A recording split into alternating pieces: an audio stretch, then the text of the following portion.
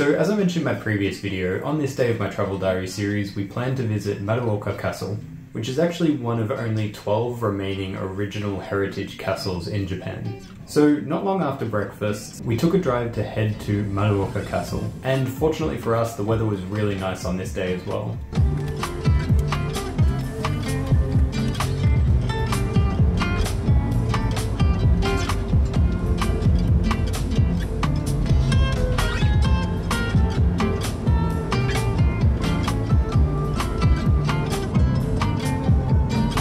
When we arrived, Maruoka Castle seemed to be quite well hidden. We were only really able to see just the top of the castle from where the parking lot was. Also, one thing I didn't film but I did take some photos of was actually the restroom in the area as well as the public phone. I think they did a really good job in making these look kind of old and making them fit in with the overall aesthetic of the area. And again, like many places in Japan, even the drains here were actually themed after Maruoka Castle. Just before heading up to Maruoka Castle, there was also a map of the area. The gardens surrounding Maruoka Castle was really nice, and there was also quite a lot of sakura trees as well. So if you ever come here in early to mid-April, you may very well get to see roughly 400 cherry blossoms blooming around Maruoka Castle, which is something I definitely hope to see one day.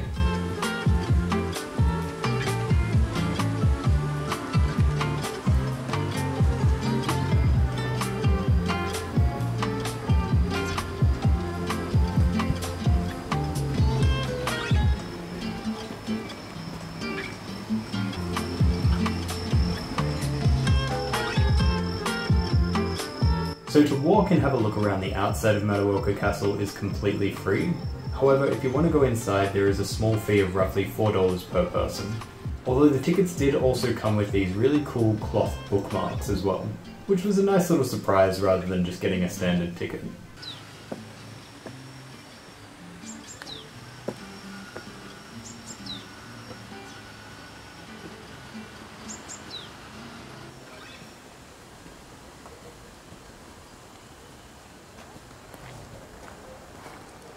Now, Maruoka Castle looks really amazing from the outside.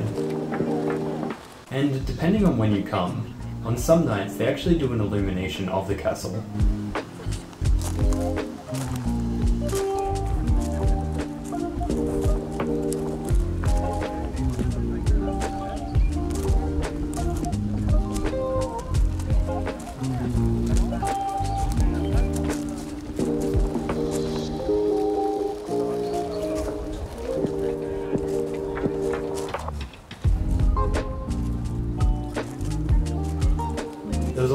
Things to see around the castle, but we decided to start by heading in. And the stairs leading up to the entrance of Maruoka Castle were pretty steep.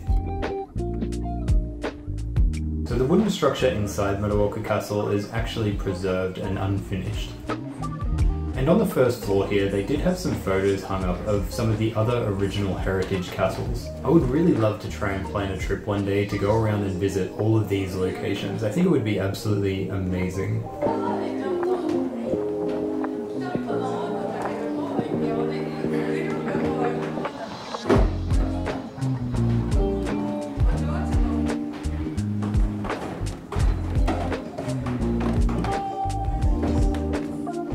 Also had this map here of all of the remaining heritage castles. Towards the back of the first floor, there was also this diorama of what the surrounding area looked like back in the 1600s.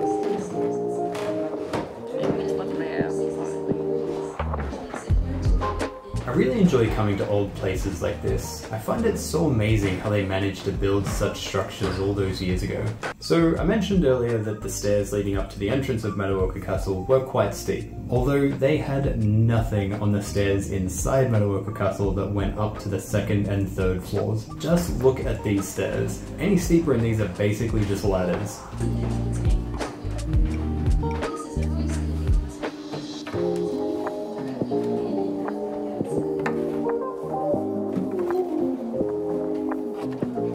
Second floor here was relatively empty, which I actually liked, because it just allowed you to focus on the structure of the castle. Which actually brings me to a really interesting fact about Maruoka Castle. So the second and third floors aren't actually directly attached to the first floor. Rather, they're just sitting on top of it. Now, other than the incredible view that you can see from this window, you can also see that the roof tiles here are actually made of stone. Now, these stone tiles, coupled with the wooden structure, means that a little over 100 tons is just sitting on top of the first floor. I just found that really interesting when I found that out.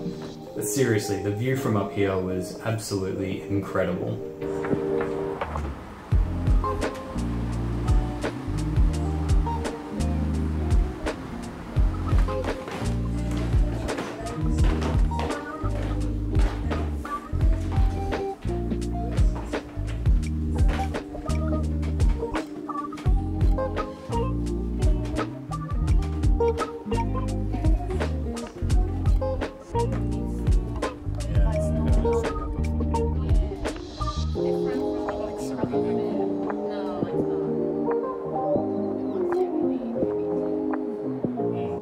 Stairs that lead up to the third floor, I'm pretty sure are actually steeper than the ones that came up to the second. And the view from up here was just as amazing. Fukui really is such a stunning place.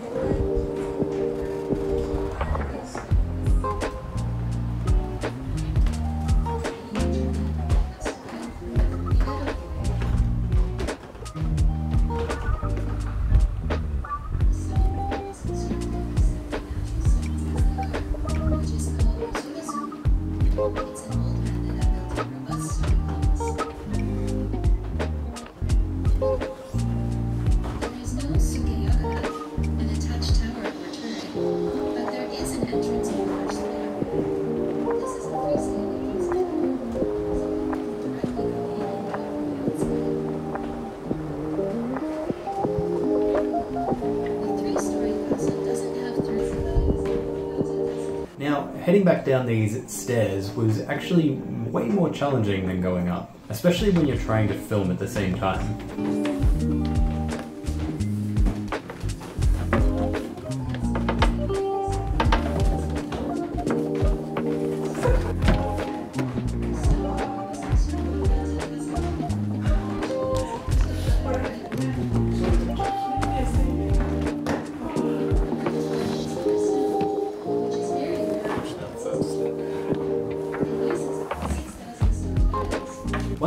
Learned on the way out of the castle was what these small holes here are actually used for. So these were actually used for shooting arrows out of, as well as poking spears through for anyone attempting to climb the castle.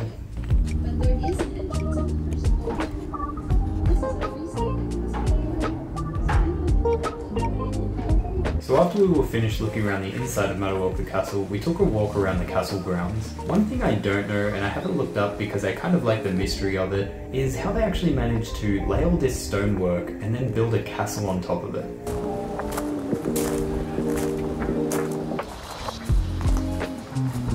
In this photo here, you can see it's not really just an angle, but it almost curves up. And they're layered as like one big stone and then two small stones. I just find it really interesting and have no idea how they managed to do it.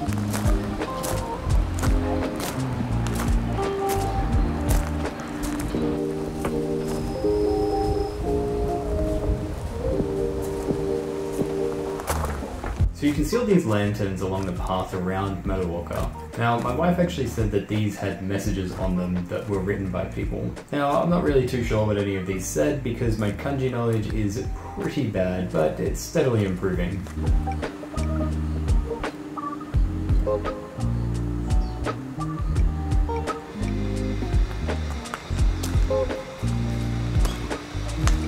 Path around Maruoka Castle really isn't too long. You can easily walk around the whole area in probably less than half an hour.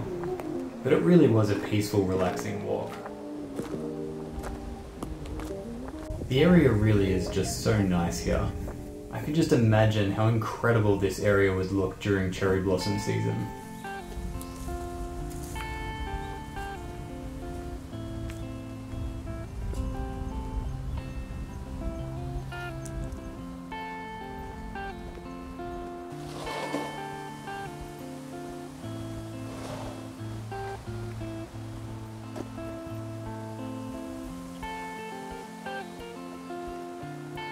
Just next to Maruoka Castle, there was this gift store and a sit-down restaurant. So we decided to look around the gift store a little bit before sitting down to lunch. Now, somehow I did completely forget to film what was actually inside the gift store, although I did remember to actually film what we ate this time. So we ended up getting this really amazing soba, and it was actually incredibly cheap as well. For both me and my wife, it only cost maybe 10 to $15.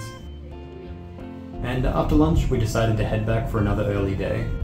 Now there was just one more thing that I filmed on this day. So a little bit later in the evening when we were taking the garbage out, the sky here in the countryside looked absolutely incredible. I really can't get over just how amazing the countryside is here.